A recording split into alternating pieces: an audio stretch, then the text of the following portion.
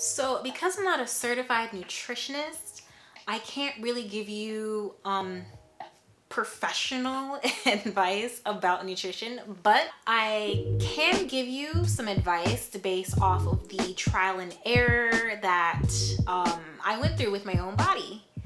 Emphasis on the error. so I have the what not to do's and some helpful guiding advice that will help put you on the path for changing your body if you choose to do so.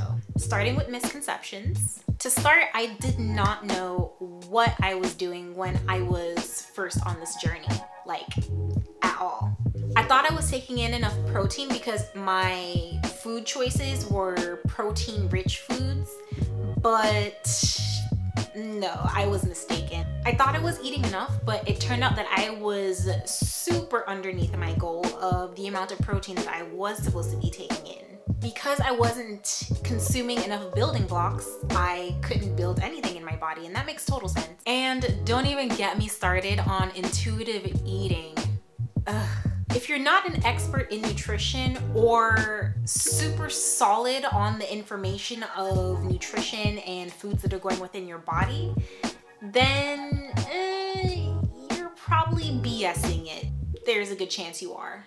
And on top of that, you're likely wreaking havoc on the inside of your body. What I can confidently suggest to you though, is that you should try tracking your food. Just give it a try. A full honest week of logging in every single thing you eat, including the condiments that you use. Trust me on that. You'll be surprised. It starts to add up. So this will either confirm what you are not providing for your body or expose what you are overdoing for your body. And for me, there were so many things that I was either consuming or not consuming that landed me on both ends of the spectrum. It's also so, so, so important to eat for your fitness goals. If you're trying to gain weight but you're not taking in enough calories, then you're not going to see what you need. And on the other side, if you're trying to lose weight and you're eating too much calories, then you're gonna see a similar issue. You're not gonna see any progress in your body towards your goal. How do you track this? You can go old school and you can use like a pen and paper and just write down everything you're eating and then um, just figure out the calories for everything that you're eating. But we are in the technological age, so you can definitely use an app for this. And the app that I suggest is MyFitnessPal. I used it to track my nutrition and whew, it definitely exposed me for sure. This is not like a sponsored thing, by the way. Um, I'm just suggesting it because it actually genuinely helped me and it is free. It really has been helpful in my journey of trying to figure out like the things that my body needed nutrition wise for sure.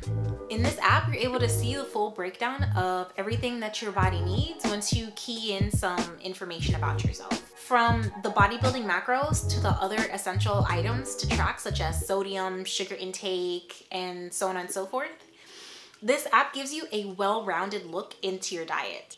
I think the awesomest part is that you're able to look up foods that you eat at fast food chains. Like you can type in Chipotle and then it'll have Chipotle's menu for you to pull from or McDonald's or um, Starbucks, you know, things like that. It'll have it in its database.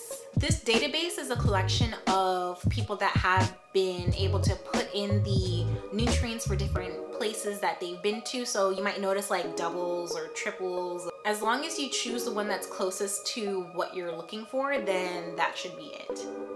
It also helps if you have like the actual item on hand and like if there's like a nutrition facts label, you can like try to compare it and see which ones are accurate. You can only adjust certain things as needed, but of course the paid version will have way more that you can tinker with. But don't get me wrong, the free version is fantastic. It already does more than what you need to be able to track what you are eating. So specifically I'm talking about gains because that's the journey I'm on.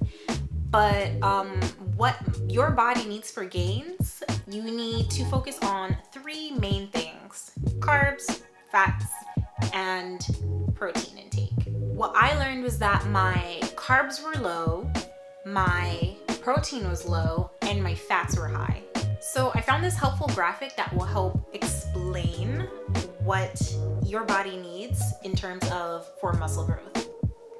You gotta eat your bricks to be able to build the home. That makes sense.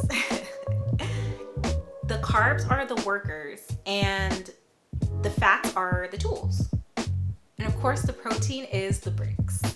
For me, this makes it so much more easier to understand. Remember not to overcomplicate this and to keep your focus on these items. When you're trying to build muscle, this is an ideal trio for you to be able to gain muscle. It works the same for if you are smaller and you want to get bigger or if you are bigger and want to get smaller. These three will dictate how your body is going to build muscle. What will help the muscle show is how much fat is on your body. So to lose fat, you have to eat in a calorie deficit. This means you're eating slightly less calories than you are burning. And then the opposite is true where if you are trying to gain muscle, then you need to eat in a calorie surplus. This works best when you're eating whole foods, meaning cutting way back down on processed foods and actual complete real ingredients like vegetables and fruits and all the such. And for some reason, there's a misconception that you have to starve yourself to lose fat and that is definitely not the case. That sounds really dangerous and that's just going to hurt your body in the long run anyways. This is where tracking your intake is really helpful because maybe there might be some people out there that are starving themselves accidentally and eating way less calories than they need to when they actually don't need to eat such a low amount of calories to lose weight. So like this video if you found this helpful and you'd like more content like this and until next time I will see you